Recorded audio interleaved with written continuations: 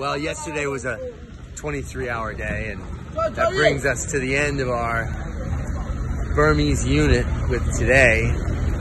We just came in late afternoon, and I would guess we are looking at another 24 hour day. We got about 15 shots left, and we're supposed to fly out at 8 a.m., so I don't know exactly how that's going to happen. But we have to finish the movie. Oh, that's the light turned on. That's good. What's that? I want to change the Okay, change the battery. Polly, right here. Right here. White side out. Thank you. Exactly. Perfect. Perfect. Good luck. I, I gotta get my bag. Hold on.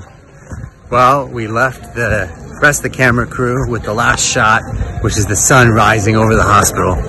And um, we're gonna quickly get our stuff from the hotel and try and make this 8 o'clock flight.